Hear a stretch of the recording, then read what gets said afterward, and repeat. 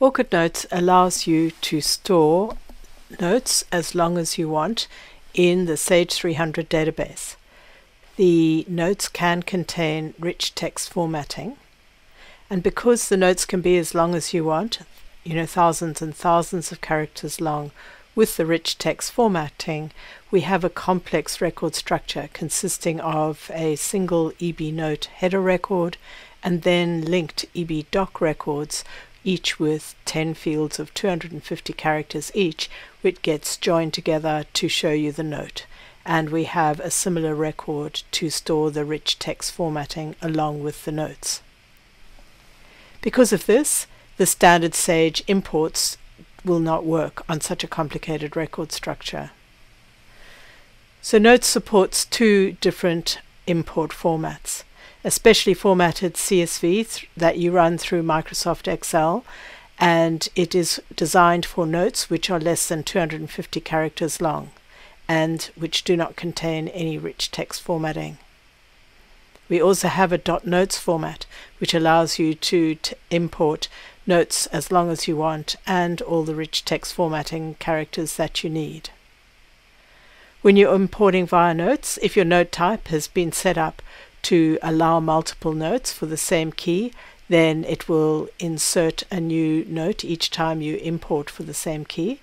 If you do not allow multiple records per key, then it will overwrite.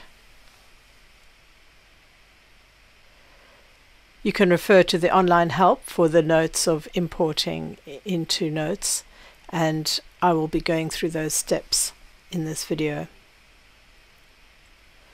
We also have a knowledge base article which shows you how you can store links to pictures using UNC paths and then include those pictures into your crystal reports. So if, if you find that useful, please refer to that knowledge base article as well. Referring to our object model for all our modules, if you look at the Information Manager object model, you'll find the first the EB Note record type. So the EB Note record type consists of the note type it is, the key value, and the note ID. And then it has a text ID and a rich text formatting ID. So this is the primary or header file of the note, which tells you which which note type it is and what is the key value of that note, and then what text ID it has and what rich text formatting ID it has.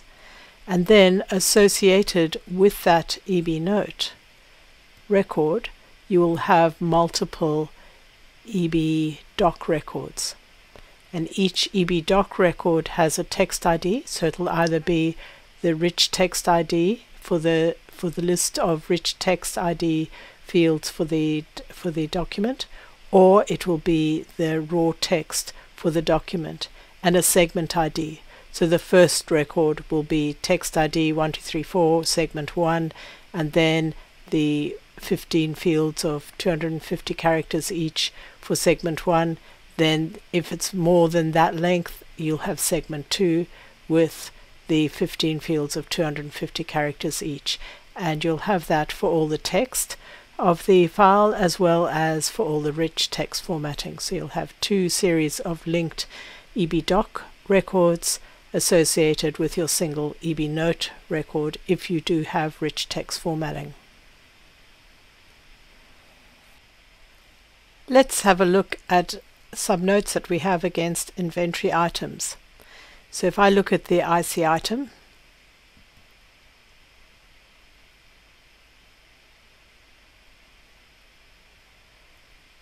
and pick up the A11030, you can see we have configured for items multiple notes and the notes can be long as long as you want.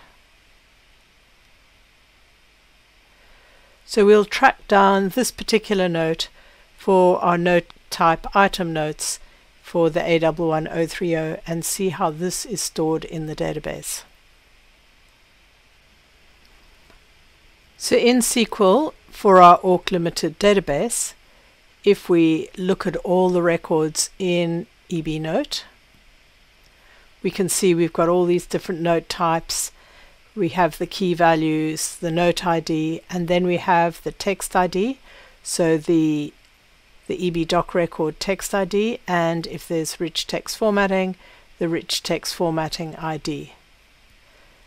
So let's just look at all in our EB note, which are only for that item. And we see we have four different notes. And the first one, note ID 40, was the first one we looked at. Notes can be as long as you want and contain free text. So the first 250 characters are listed on the first EB note record just so that we can use that in finders and so on. But the text is stored in the text ID note and the rich text formatting characters and text is stored in the rich text formatting notes. So let's just look at all what's in EBDoc record. So you can see EBDoc record has the text ID which links back either to the text ID or the RTF ID and a segment number. So they would go, if it's got the same text ID such as 18, then this is the first two and a half thousand characters, the second two and a half thousand characters, the third two and a half thousand characters, etc. And here's the text record. So this looks like a rich text formatting one, not just a text one. But let's filter this on our on our individual item and the individual notes. So that was note 40. And you can see in the text ID 15, we have notes um, including spaces and tabs that they may have had, but text only. So we've only got just less than uh, 250 times 2 characters, but including the rich text formatting, the colors, etc., and the fonts that then spans out into multiple records. And in fact, it's about a thousand characters to store that. Looking at the online help for importing notes, you can import from a CSV where you specify the note type, the key, the category, and the text column and the RTF column. Or you could import using the special notes import template that we have. So there's a macro in Excel which does that notes import. And you can also import from a .notes structure. So let's first look at the two CSV options. You can import your notes from the IM Transactions note screen.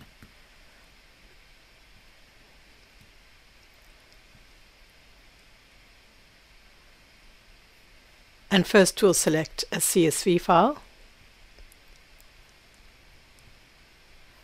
And you can prepare a CSV file which has at least the note type and the key category if you want and the text.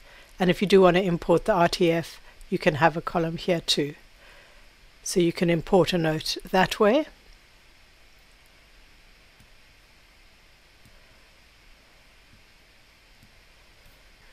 Or you can open our Notes Import template in Excel and that gives you instructions on the first page and you can paste your template of your note type key and text here but you are limited to 250 characters per text because this is an Excel spreadsheet. And the final way you can import a note is using a .notes file. So we'd recommend first you enter OneNote and then export a .notes file. So you can export an example notes file so you can see what the structure is. And then if you go and have a look at the, that file,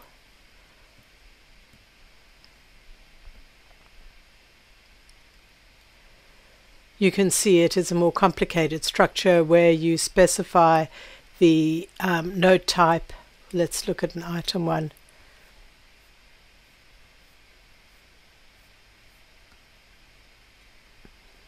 We specify the note type, the key, the note ID, date created, and time blank you do not need to include if you're creating notes. The category, then you have a begin text and you have all your notes and end text, then begin RTF and you have the included RTF code and end RTF and then you move on to your next note. So if you do need to import longer notes and structured with RTF, you can build them this way and import then from that note file.